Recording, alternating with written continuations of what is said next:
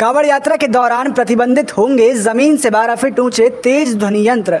आपको बता दें कि कांवड़ यात्रा में तेज ध्वनि यंत्र पर हुड़दंग करने वालों पर इस बार सख्ती बरती जाएगी। मुख्यमंत्री के आदेश के बाद पश्चिमी उत्तर प्रदेश के तमाम जिलों में 12 फीट से ऊँचे तेज ध्वनि यंत्र कांवड़ यात्रा के दौरान नहीं बजाए जा सकेंगे। इस संबंध में आदेश प्राप्त होने के बाद एसपी ने सभी अधिकारियों व थाना प्रभारियों को निर्देशित कर दिया है। अब तक करीब 150 तेज ध्वनि यंत्र संचालकों को नोटिस जारी कर इस संबंध में जानकारी दे दी गई है। भारतीय न्याय सहायता यानी बीएनएस की धारा दो सौ बानवे के तहत तय मानक के विरुद्ध तेज ध्वनि यंत्र बजाने पर एक हज़ार रुपये जुर्माने का प्रावधान है।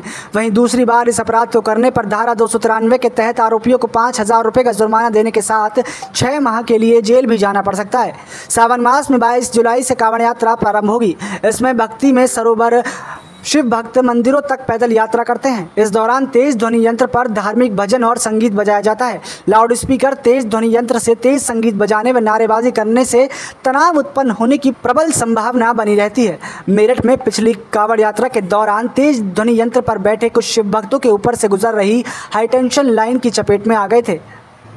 हापुड़ के अपर पुलिस अधीक्षक ने कावड़ मार्गों का निरीक्षण किया। साथ ही उन्होंने बताया कि सर्किलवार सीओ व थानेदार अपने अपने क्षेत्र में तेज ध्वनि यंत्र संचालकों के साथ बैठक करेंगे। उन्हें नए नियम की जानकारी देकर उल्लंघन करने पर कार्रवाई के बारे में भी जानकारी दी जाएगी। किसी भी हालत में आदेश का उल्लंघन नहीं किया जाएगा। फ़िलहाल के लिए इतना ही। ऐसी तमाम खबरों के लिए देखते रहिए हापुड़ हलचल।